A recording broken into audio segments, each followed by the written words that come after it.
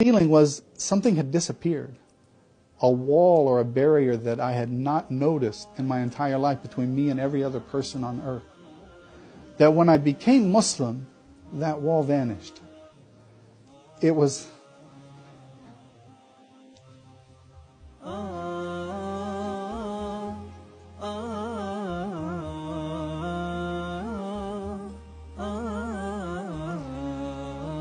It was the most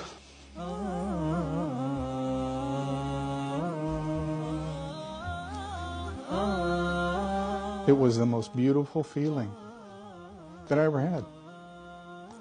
And it wasn't because I was rich, it wasn't because I had all the things I wanted, it wasn't because you know, I you know, I feel like I'm in the right place as a Muslim, but there was some kind of connection of like a bond between a family